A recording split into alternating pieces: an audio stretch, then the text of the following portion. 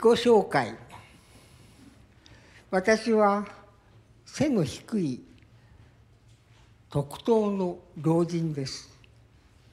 もう半世紀以上の間名詞や動詞や助詞や形容詞や疑問符など言葉どもに揉まれながら暮らしてきましたからどちらかというと無言を好みます。私は公務類が嫌いではありません。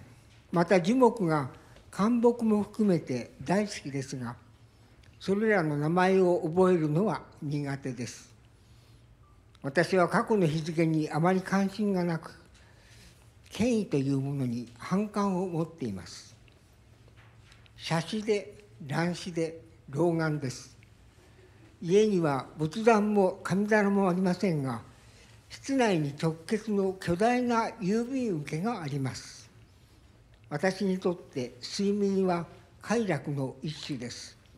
夢は見ても目覚めると時には忘れています。ここに述べていることは全て事実ですがこうして言葉にしてしまうとどこか嘘くさい。別居の子供2人孫4人ひ孫1人犬猫は飼っていません。夏はほとんど T シャツで過ごします。私の書く言葉には値段がつくことがあります。以上でした。ありがとう。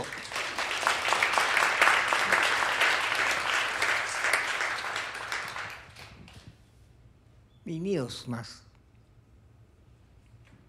耳を澄ます。昨日の雨だれに耳を澄ます。耳を澄ます。いつから続いてきたとも知れぬ人々の足音に耳を澄ます。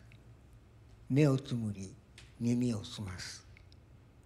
ハイヒールのコツコツ長靴のドタドタぽっくりのポクポク耳を澄ます。朴葉のカランコロン網上げのザックザック草履のペタペタ耳を澄ます。わら靴のサクサク木靴のコトコトモカシンのスタスタ。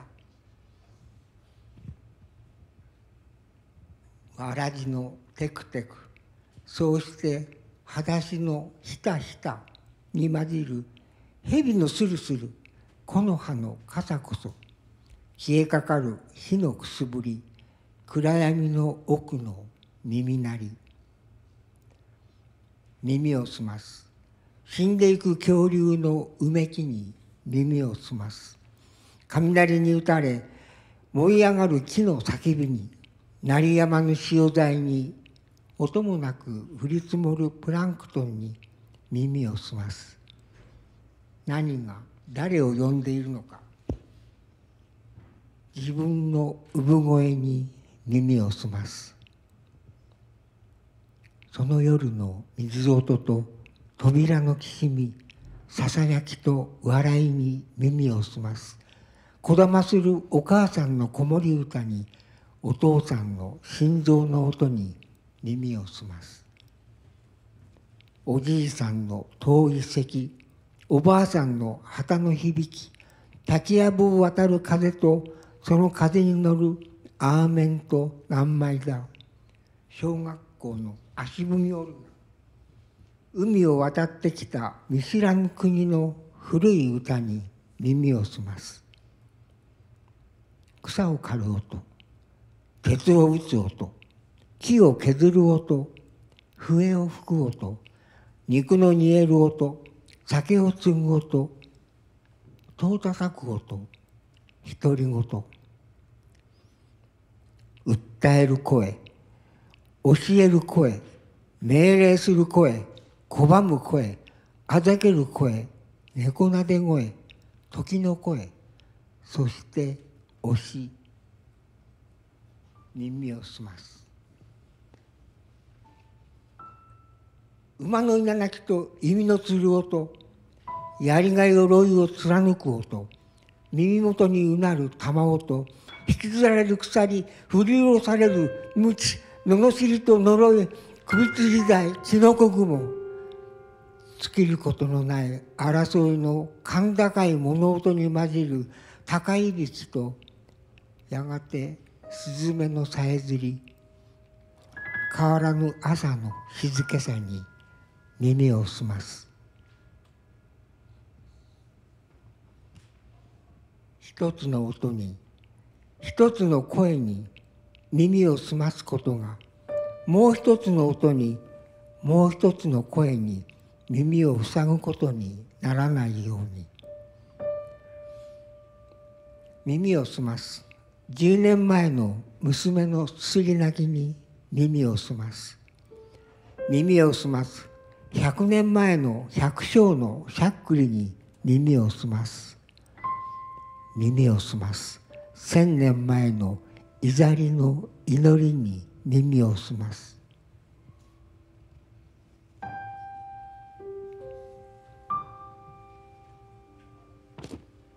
耳を澄ます。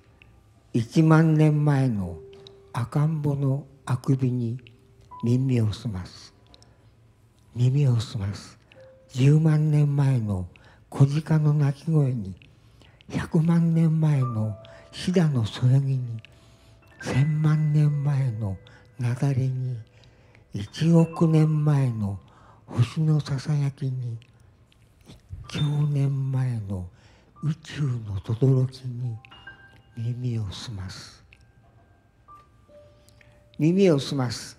道端の石ころに耳を澄ます。かすかにうなるコンピューターに耳を澄ます。口ごもる隣の人に耳を澄ます。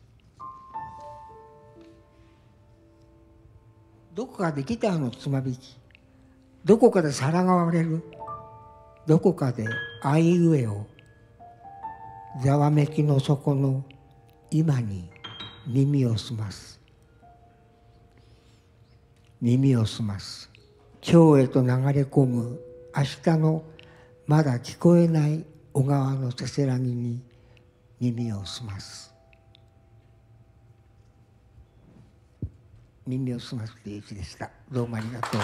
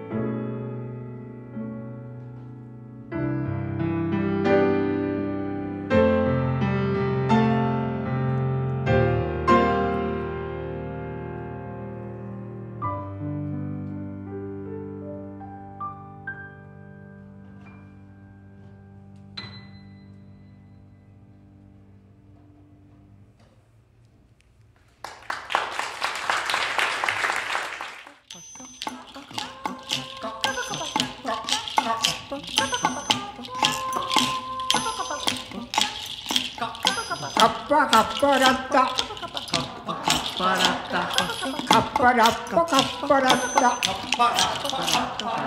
取って切ってたって切ってたカッパナッパ買ったカッパナッパ一パ買った。買って切って食った。買って切って切った。シュン最最後のシュン私のサインですか？そうなんです。あありがとうございます。止まるっていうことですドキン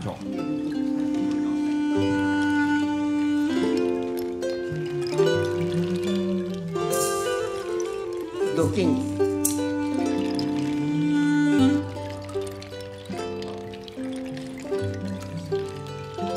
触ってみようかな。つるつる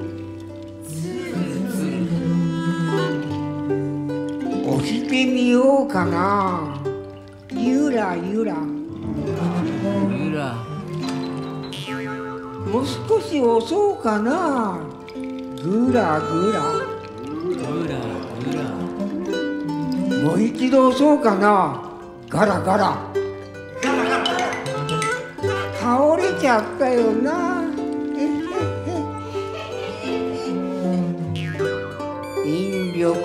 感じるね。ミシミシ。地球は回ってる。ぐいぐい。風も吹いてるよ。そうよそうよ。歩き始めるか。ひたひた。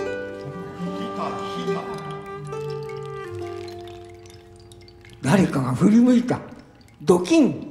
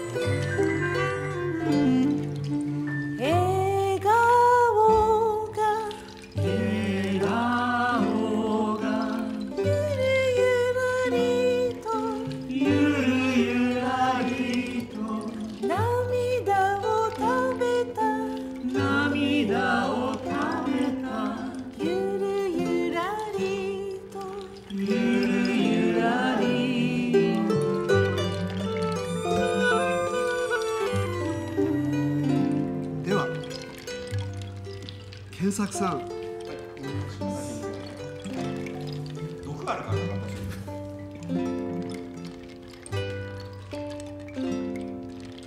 谷川俊太郎谷川俊太郎がゆるゆらりゆるゆらりとボケちゃったまだまだゆ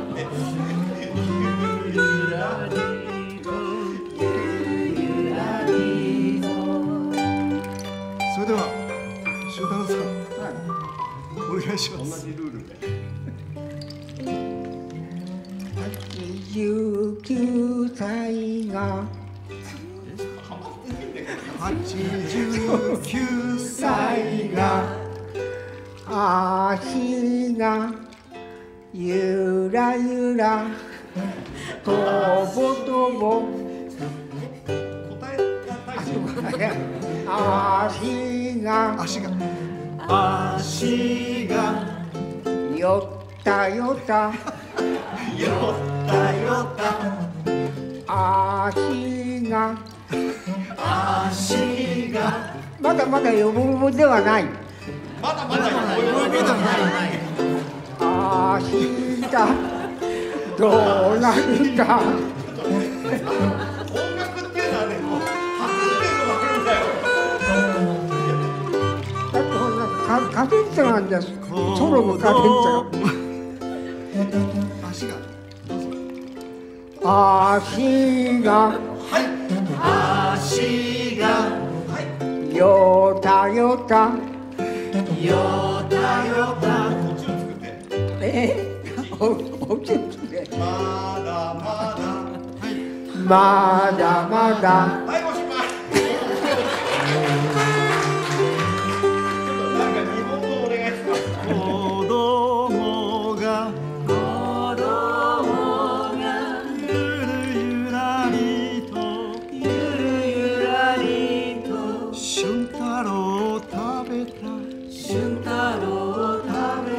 ずいぞ。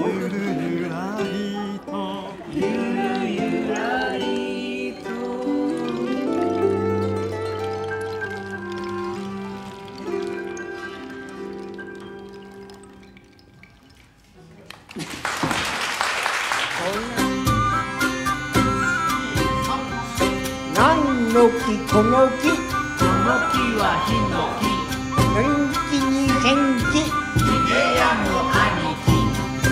の木その木その木は水木。寒気は損気明日は天気。何の木あの木あの木はタヌキ化け損なって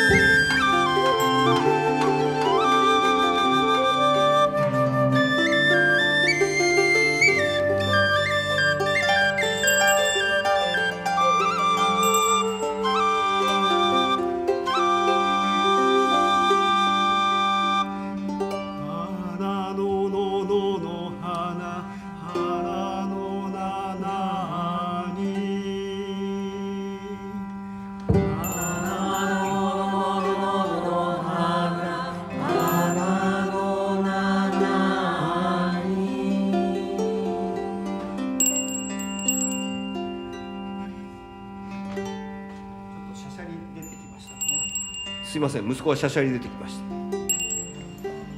よし。なずななの花名もないのばな。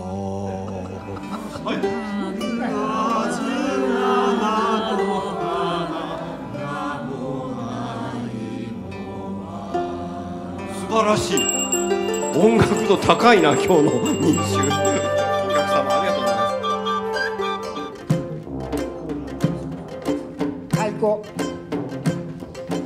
どんどんどんどんどこどんどこどんどんどどんこどんどどどんどんどこどんどんあどどんこどんどこどこどんどこどこどこどこどこどこどこどこ太鼓叩いて。どんどんどんどんどんどんどんどん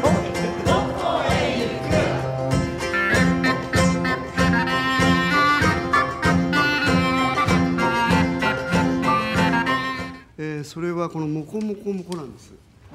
であのこれに出会ったのも随分前なんですけど、うん、なんか絵本の世界がこう一つ変わったような感じがしたんですね。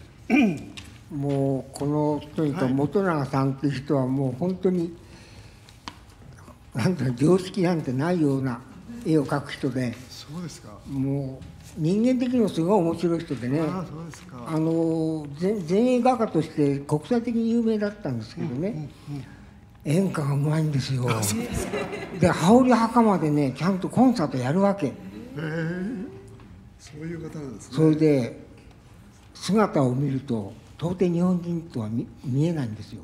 ロシア人との根血の亡命貴族みたいなやつ。でそれが「何やそれ」って関西弁で喋るわけでしょ？そのロシア人がそうですか。別にいいんですけど。いや はい。何が絵本が変わったかっていうとあの音を感じるっていうのもこう絵本の一つの役割かなと思って。はい、これはだから本川さんの絵が先にあって僕がその絵を見て で音を感じたのを描いたわけだからすごく素直なテキストのはずなんですよね。そうですか。はい、もこもこもこ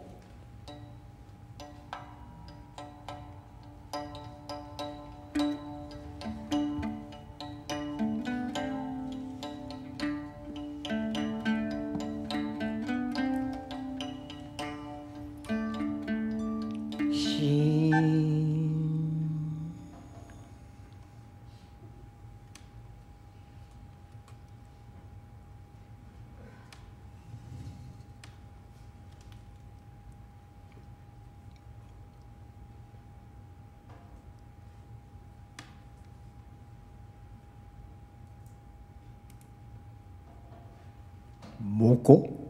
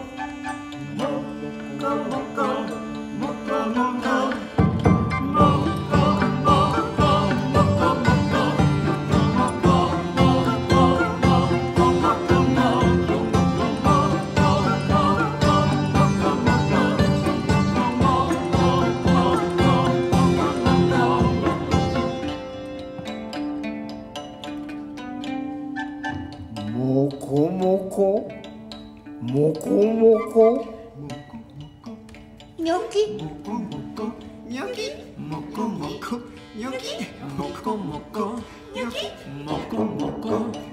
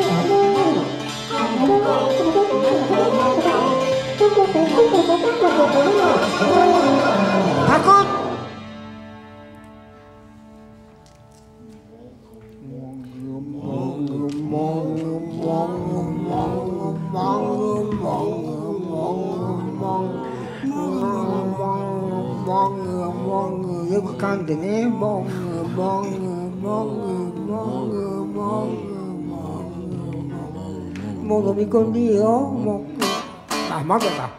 もぐもぐもぐもぐもぐもぐもぐもぐ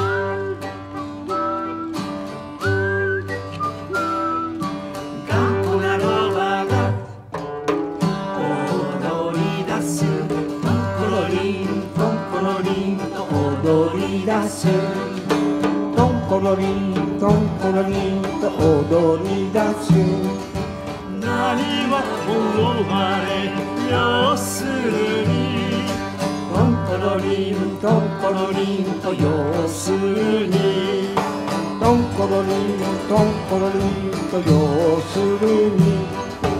生きているのは楽しいなトンコロリントンコロリンと楽しいな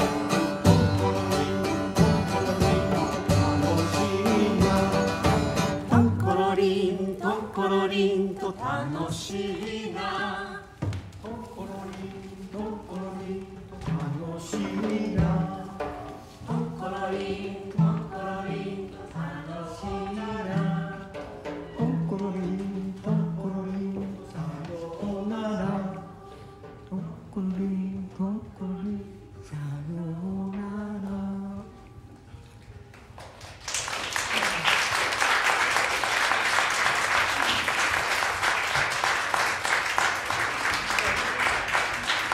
とご存知の方多いと思うけどハイドンに「国別」っていうシンフォニーがあって、えー、とオーケストラの団員が一人ずつずっとあの舞台から消えていくっていうのがあるんですけど今日はその潜みに倣って彼らは消えていったわけですがこれで終わってしまうのは寂しいので「おーい戻っておいでまだアンコールがあるぞアンコールが」。